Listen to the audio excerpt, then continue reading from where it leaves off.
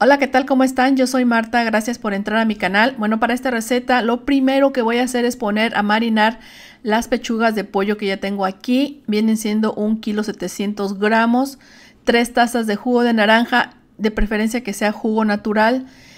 Yo lo he hecho solamente con jugo natural. Eh, la ralladura de una naranja, dos ajos. Por aquí tengo sal, sal de apio, perejil, orégano, eh, son hierbas secas no sé si voy a ocupar todavía la sal, la extra sal, pero bueno, vamos a, poner primero la sal de, apio. Ah, voy a, ocupar también media taza de aceite. Yo estoy usando de girasol. ¿Y qué más? Mm, bueno, este es un recipiente para preparar mi, este, mi marinado.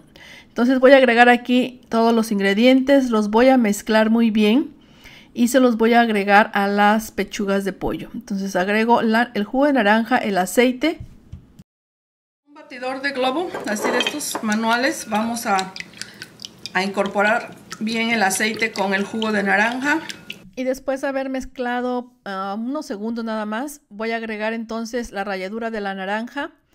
Voy a agregar los dos ajos y yo me voy a ayudar con este aparatito que es una prensa de ajos pero si tú no cuentas con uno de estos, solamente los picas muy bien, bien, bien picaditos y se los se, lo, agregas. Entonces termino de agregar el ajo, agrego la sal de apio, que está muy salado, sabe más a sal que a otra cosa. Eh, más o menos agregué una cucharadita de cada condimento, de sal de apio, de orégano y de ah, perejil. Y de perejil. Entonces mezclo muy bien ya que lo tengo bien mezclado, se lo voy a agregar a las pechugas. Con mucho cuidado, aquí lo que hice fue probar un poquito para ver qué tal, qué tan bueno estaba de sal. Y sí le hizo falta un poquito, así es que agregué un poco más de sal, pero ya sabes que eso ya tú lo tienes que checar a tu gusto. Tapo con papel film y lo llevo a refrigerar por una hora. Yo lo refrigeré una hora, pero mínimo media hora. Vamos a rebanar de estos chiles morrones. Yo tengo aquí un color naranja, rojo y un amarillo. La mitad de una cebolla morada que es, grande. Ah, voy a ocupar un poco de sazonador de este. Ah, ajo en polvo y sal. Entonces voy a rebanarlo. Puedes cortarlos como tú quieras. Yo los voy a rebanar en forma juliana. Bueno, pues así es como quedaron en forma juliana. Y las cebollas también las corté, en, estas las corté en media lunas, pero poquito más anchito que lo común, ¿no? Un poquito más anchito para que, para que no se nos quemen y se, y se puedan ver.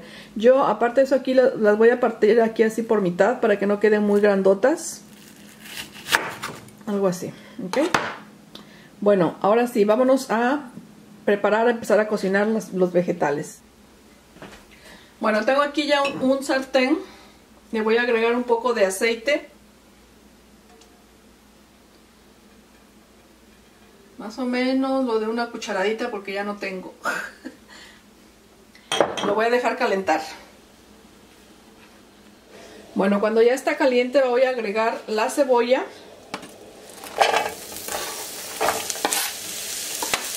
Y a fuego medio la voy a sofreír más o menos por un minuto. Medio bajo el fuego bueno ya que pasó el minuto voy a agregar los chiles morrón y los voy a sofreír aquí un rato con la cebolla. A esto solamente le voy a agregar un poco de sal voy a agregar un poco de ajo en polvo sin sal.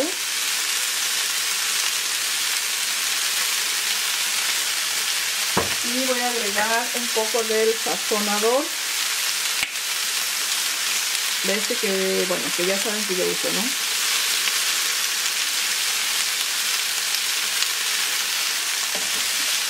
más o menos fue como lo de una, cucharadita de cada cosa. Me sale un poquito menos pues ya saben que la sal es a su gusto. Y a fuego medio bajo lo voy a dejar aquí a sofreír un rato. Hasta que se cuezan más o menos. No, que, no quiero que queden muy aguado porque a mí me gusta que quede como crujiente los vegetales. Así que hay que estar al pendiente según este, te gusten a ti. Voy a agregar también un poco de estas hierbas provenzales, así se les llama, así se les conoce. Y trae varias hierbitas, trae de, la, de tomillo, mejorana, orégano, romero, albahaca, hinojo, estragón y algunas otras hierbitas más. Y eso es para darle un poquito más de sabor a mis vegetales. Estoy agregando un chorrito de vinagre, vinagre balsámico ¿qué será? Como una media cucharada, una cucharadita, lo que quieras agregarle, pero agrégale un poquito porque le da también mucho, mucho sabor. Mezclo y sigo cocinando a fuego medio bajo. Bueno, han pasado 3 minutos. Perdón por atravesarme. Y mira, estos ya están. A nosotros aquí nos gustan que no queden tan cocidas entonces las voy a vaciar en un recipiente y ya voy a hacer mis pechugas que ya tienen una hora con el marinado. A ver. Aquí mismo agrego un poquito más de aceite para... Primero voy a freír las pechugas. Mira, aquí las voy sacando del refrigerador, tienen ya una hora. Bueno, entonces lo que voy a hacer es prácticamente como sellar, sellar las pechugas para que queden más jugositas por dentro. Subo el fuego, ahorita acabo de subir el fuego. Cuando empiecen a, hervir, a dorarse, le bajo a medio bajo para que se cocinen bien. Más o menos las dejé 10 minutos por cada lado a fuego medio bajo. Bueno, aquí ya pasaron los primeros 10 minutos, entonces las volteo así las tres y, enseguida agrego la última porque son cuatro pechugas las que yo estoy cocinando igual a fuego medio bajo las dejo otros 10 minutos. Bueno cuando ya están las pechugas así selladas vamos a agregarle aquí del mismo marinado para que se terminen de cocinar que estar bien cocidas y como están gruesas están enteras pues necesitan un poquito más de jugo. Ahí así. Y las voy a tapar para que se terminen de cocer. Bueno mira han pasado otros 10 minutos. Ya ves las ahorita sí ya las tengo en fuego alto. Las estoy volteando nuevamente. Voy a, a checar a ver qué tanto les falta o si ya están. Entonces bueno pues ya casi van a estar pues ya llevan 10, 20, 30 minutos hirviendo o cociéndose un poquito más desde que las empecé a freír yo pienso que ya, ya deben de estar. Mira ya pues para mí esto ya están bien cocidas mira ahí está la prueba. Entonces lo que voy a hacer es agregar mis vegetales y los voy a dejar 5 minutos más a fuego medio bajo. Ya solamente para que los sabores se integren entre sí y ya estará listo este delicioso platillo rapidito y súper súper rico. Bueno entonces lo voy a tapar y a fuego medio bajo los dejo 5 minutos más y los voy a acompañar con un delicioso arroz. Bien pues esto ya estuvo ahora sí ya me voy a servir. Mira qué delicioso porque no se ve bien rico.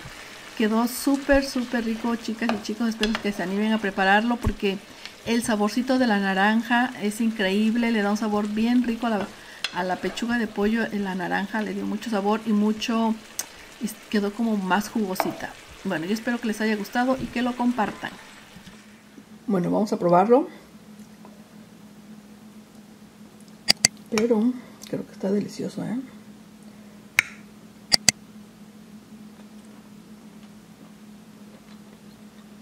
Mmm.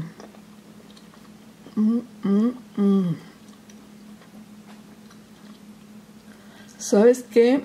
La naranja le da muchísimo sabor y queda menos seca, mira. Está riquísimo. Y este arroz lo hice solamente en mi... Para no freírlo, lo puse en mi, en mi olla de, lenta, de lento cocimiento y ese es como queda. Mm. Está mm, mm, mm". delicioso.